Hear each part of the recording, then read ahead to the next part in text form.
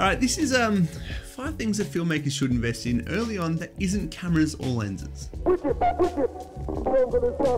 As a bit of a preface to all these different categories, I want to mention the saying, buy nice or buy twice, because that saying could not be any more true as when it comes to camera gear. I think it's important to remember that just because you can afford something and you could probably go out there and pick it up today, doesn't mean that that's a great decision and that you necessarily should make that choice. Now this part isn't one of my suggestions, but maybe it could act as a bit of a bonus one, but I just wanted to show you what I mean by buy nice or buy twice. So when I started out, I bought the G Master 24 to 70 and I know lots of people who have bought the Sigma 24 to 70 and it's a pretty solid lens, it's got good image quality and it saves a fair bit of money from the G Master but I know so many people that after six months they've got dust all inside their weather sealed lens and they've ended up selling that taking a loss on their equipment and then going out and buying the G Master and actually spending more money. So there are times when buying the correct gear, buying the better quality gear actually saves you money in the long run. So that's kind of the motive with this video. I want to educate you on some things that are really worthwhile of your money and things that are worthwhile spending extra to get the best quality in return. I don't want to push an agenda of you need to buy and you need to always have the latest gear, but there are some things that's really worth putting the extra money into. So you still need to, you know, use your own discernment and make sure you are making the wise choices for you and your business. But sometimes quality is the best way to go. And when I say sometimes quality is the best way to go, I mean, it's always the best way to go. Anyway, number one, tripods. Sounds pretty boring, right? If you find yourself in the video space and you think you're gonna continue down this video path, then I highly recommend investing in a good quality set of sticks. Now I say buy nice or buy twice, and this is a great example of that. About three or four years ago, I wanted to get a good solid set of sticks, and I settled on the Sachtler Flowtech 75. Best choice I think I've made in my time in the industry. These things are absolutely fantastic. Now they sent me back about $2,600 for the legs only.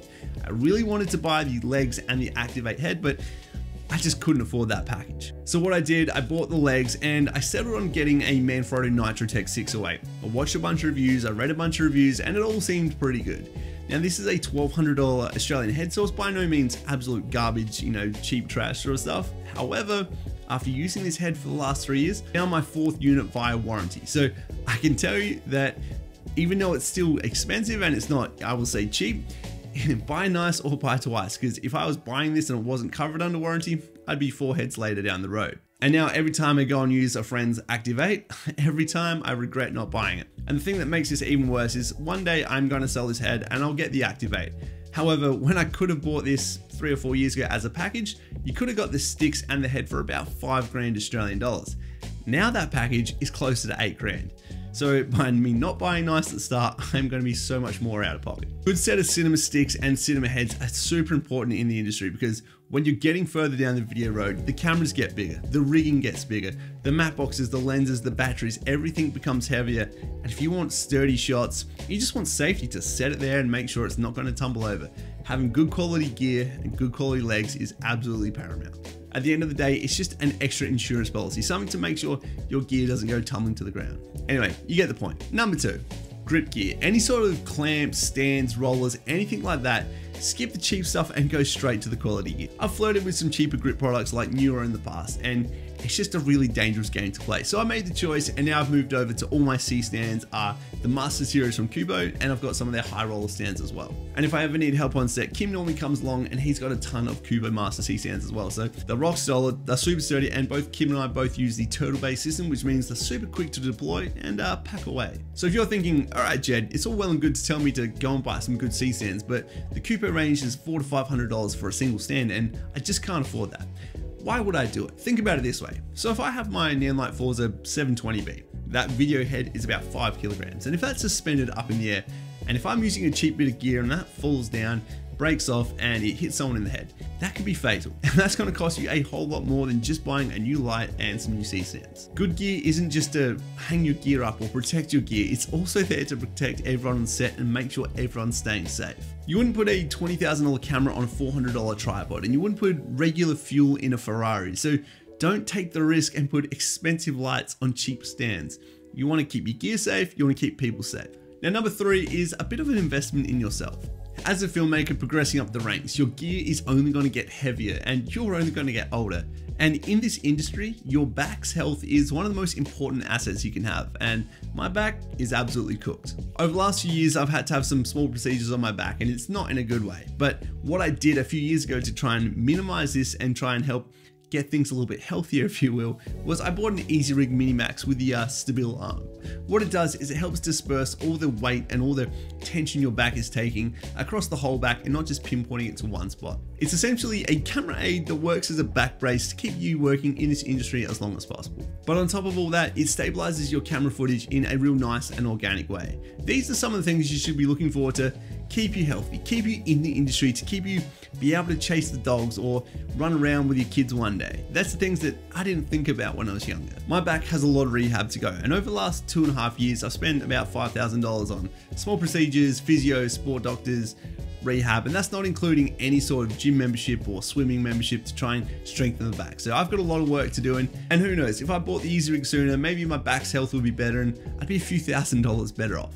At the end of the day, your health is your wealth, and your back health in this industry is pretty much number one. So look after yourself. Anyway, the next thing is storage, and there is nothing sexy about storage. it's probably one of the hardest things to actually bring yourself to spend the money on, but as cameras resolutions keep getting bigger and frame rates keep getting faster, we require more data to be able to be captured onto a card in a smaller amount of time. When you're buying the faster, higher quality cards, these tend to last longer, be way more reliable in the field, and also onload and offload quicker as well. But it's not just about in-camera media, it's about what your post-production workflow is as well.